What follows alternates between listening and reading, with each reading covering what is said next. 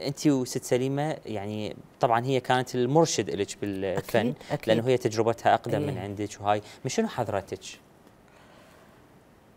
يعني هي تعرف آه، حضرتني مثلا آه، أن لا أندفع لا أن أثق بكل الثقة بكل من حوالي أن أبتعد عن ال ال ال الاختلاط.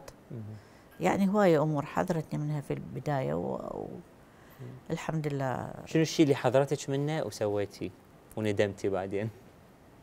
لا هي يعني حتى لو تحذرني منه بس الفائدتي يعني مم. أنا بالعكس تسمعين كلام اي.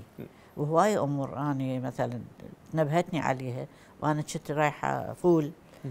تالي أحس إنه هي الصح يعني طبعا زين آه، أيضا أكو. إشاعة من البدايات لليوم أكو ناس يحجون بها إنه حضرتك من الديانة الصابئية أي ما أدري ليش طبعا كل حبنا للأخوة الصابئة على راسي. على راسنا بالعكس بس ليش هاي الإشاعة كانت؟ والله ما أعرف يعني شنو من اختلقها ما أعرف يعني كلتنا بشر إذا صابيه وإذا مسيح طبعاً. وإذا خصوصا أني هاي الأمور ما عندي ما تشكل أي شيء. بيك، أي. ما تشكل أي شيء هاي الأمور. بس أنت بالحقيقة مو من الديانة الصابئيه لا لا لا. مم، ابدا. أنا تميمية أصلي. آه والنعم.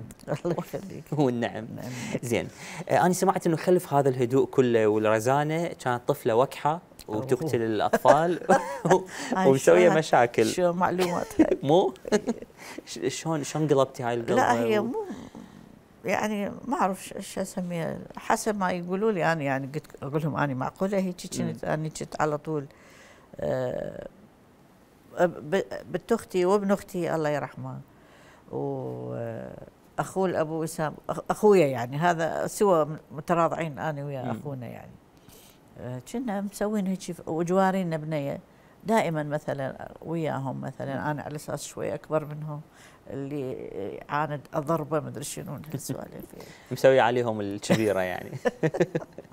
زين.